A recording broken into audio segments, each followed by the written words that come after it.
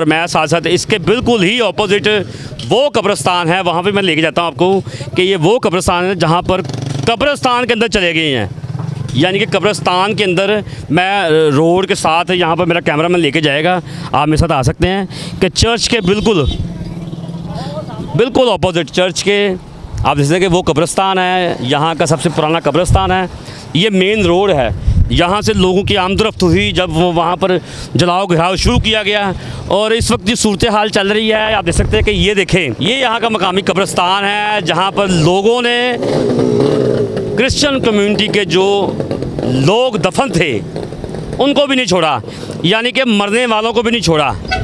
ज़िंदा को तो उनके घरों के ऊपर हमला कर दिया, उनको जलाओ घिराव कर दिया चर्चेज़ को मिसमार कर दिया मुकदस किताब की बेहरमती की गई। लेकिन यहाँ पर जो दफन लोग हैं, अभी तो यहाँ पर उनकी हड्डियाँ होंगी, लेकिन उनको भी नहीं छोड़ा। उनके अंदर जो वीडियो सोशल मीडिया के ऊपर वायरल हुई हुई है, उसको आप देखते होंगे कि वहाँ पर नेज़े लेकर लोग ना अंदर कपड़ों के अंदर फेंक रहे थे, मार रहे थे कि शायद कोई अंदर को मुर्दा ही ज़िंदा हो जाए। आप देख सकते हैं कि ये वो कब्रस्तान है जहाँ पर मुर्दे दफन हैं हड्डियों के साथ। लेकिन यहाँ पर जो लोग वो जो हमलावर थे, उन्होंने आकर ये किया है कि यहाँ पर जो मुर्दे थे, उनको जगाने की कोशिश की है। और खुदारा, इस बात के लिए सोचें कि आप मुर्दों को जगाने के लिए आ गए हैं। मेरे साथ यहाँ पर हमारे क्रिश्चियन कम्युनिटी के एक और साफ़ी भी यहाँ पर कवरेज के लिए आए हैं। कामरान साहब हमसे पूछेंगे। जी, कामरान भाई, इधर आइएगा ज़रा।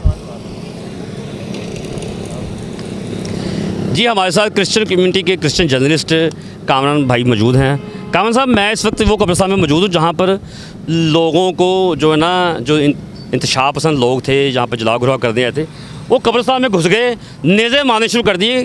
क्या वो नेज़ों से लोग मरे हुए जो हड्डियों वाले थे, उनको ज़िंदा कर रहे थे? नफ़रत की इंतहा तक हम पहुँच चुके हैं। कल मैं human rights commission of Pakistan की एक मीटिंग में था, जिसमें बताया गया कि इस कब्रस्तान की कम अज़ कम 15 से 20 कब्रों को इस तरीके से नुकसान पहुँचाया गया, उनके अंदर डंडे परोए गए हैं। और दुख की बात यह है कि ये जो मॉब था, ये जो हजूम कट्ठा था, इनमें ज़्यादातर नौजवान, पंद्रह से सोलह साल की उम्र के बच्चे थे, जिसकी वजह से चर्च को और हमारी कम्यूनिटी को ये डर है कि शायद हमारी ज़िंदगी में यह हालात कभी भी कभी भी ये बेहतर ना हो सके। क्योंकि जब यही नौजवान जब बड़े होंगे तो इस चीज़ पर फ़ख्र करेंगे कि उन्होंने ये बहुत बड़ा कारनामा किया, जो कि हकीकत में सारी दुनिया में पाकिस्तान का नाम बदनाम हुआ है। और जहाँ तक कब्रस्तान की बात है, ये मसीह कब्रस्तान ने इससे पहले अहमदी से कब्रस्तान के साथ ये हो चुका है। तो याद रखिए, नफ़रत का कोई मज़हब नहीं है। अगर आप एक जगह कब्रस्तान को करेंगे तो फिर दूसरे भी मुतासर होंगे, जो बाकी मजहबी अकलीतें हैं। नाजरीन, देख सकते हैं कि जिस तरह कामरान भाई ने बात की है कब्रस्तान की, ये वो कब्रस्तान है कि जिसको नेज़े मार कर शायद ये कहा गया कि जो यहाँ पर मुर्दे हैं, उनमें शायद जान आ जाएगी। वो शायद वो नेज़ों के अंदर कोई जादू का चिराग था कि मुर्दों की हड्डियों को ज़िंदा कराने के लिए उनको मारते गए हैं। लेकिन अफसोस के मुर्दा तो मुर्दा है, वो कहाँ से ज़िंदा होगा? लेकिन इन्होंने कोशिश ज़रूर की है। ये देखे, दीवार पूरी तोड़ दी है और मुर्दों को ज़िंदा करने के चक्कर में थे कि ये ज़िंदा हो गए फिर इनको इनको हम मारेंगे। तो मेरे साथ प्रेसपिटेन चर्च लाहौर से जो विज़िट करने आए हैं हम इनसे पूछेंगे क्या कहते हैं इस हालात के बारे में? ये हालात जो बता रहे हैं कि ये लोगों ने बहुत ज़्यादा दहशत गर्दी की है बहुत ज़्यादा ज़्यादती की है। हुकूमत पाकिस्तान से ये मुतालबा है कि इनके ख़िलाफ़ सख्त से सख्त कार्रवाई की जाए कानूनी कार्रवाई की जाए ताकि इन लोगों ने ये जो बेहरमती की है ये बहुत ही अफसोसनाक है। इनके ख़िलाफ़ कानूनी कार्रवाई होनी चाहिए। जी हमारे साथ सैमुल बी मैसी साहब मौजूद हैं जो लाहौर प्रेसपिटेरियन चर्च से आए हैं। और ख़ास तौर पर प्रेसपिटेरियन चर्च के मॉड्यूलेटर जावेद गिल साहब जिनकी हदायत पर ये पूरी टीम यहाँ पर आई है। और सैमुल बी मैसी साहब अंदर जाने से पहले हम ये बात करेंगे कि ये जो कब्रस्तान है यहाँ पर नेज़े मारे गए हैं। क्या नेज़ों के अंदर कोई जादू का चिराग था कि वो मुर्दों को जिना करके फिर मारेंगे?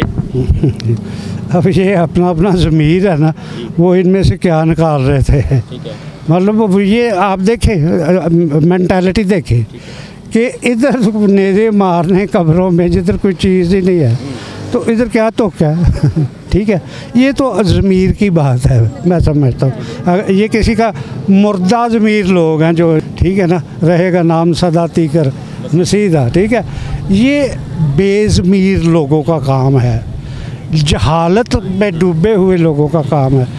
तारीकी में डूबे हुए लोगों ने ये काम किया। है मैं अब मुझे मैं फिर ये कहूँगा कि इधर से क्या निकाल रहे थे वो नज़र मार मार के? ठीक है। पहले तो उनसे पूछें कि ये ये क्या निकाल रहे थे भैया इधर से क्या कर रहे थे? तुम